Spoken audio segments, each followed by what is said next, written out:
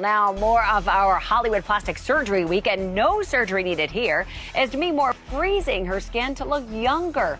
I know it sounds a little bit crazy, but you gotta admit that Demi looks great after turning 50 just four days ago. So, Christina McLarty tried out what could be Demi's icy beauty secret.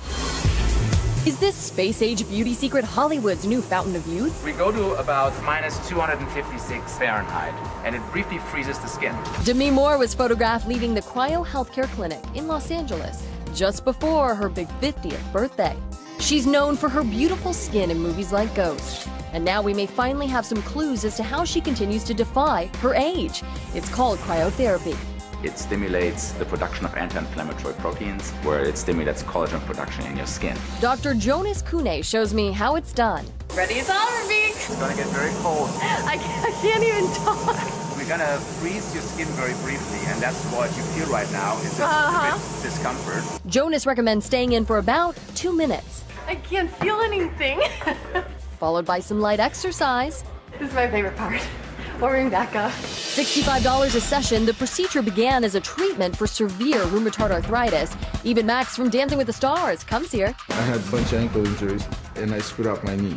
I would not survive without this. Next up, the cryofacial.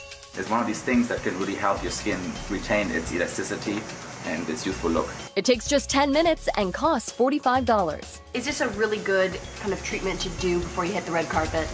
Yeah, the skin will look very refreshed after, so um, you know that's actually not a bad idea to do it right before a major event. Certainly a procedure Cyndi Lauper should have considered before reportedly getting a chemical peel, which left her skin raw and peeling.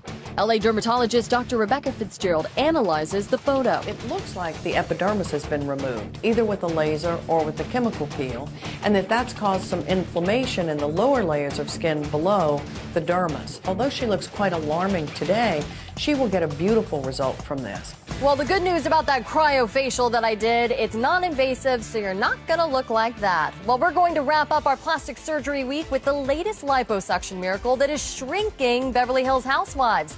I will have that for you tomorrow.